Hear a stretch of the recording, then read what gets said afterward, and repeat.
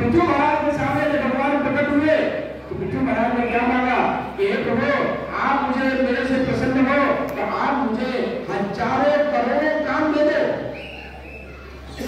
मुझे करोड़ों काम दो, क्योंकि आपका नाम इतना मीठा है कि दो काम उसका स्वाद लेने में वो सफल नहीं है। और हज़ारों करोड़ बिलियंस ऑफ़ टन्स दे दीजिए कि एक जीवा एक जीवा जो है ये भगवान के नाम का मिठास का अनुभव नहीं कर पा रहा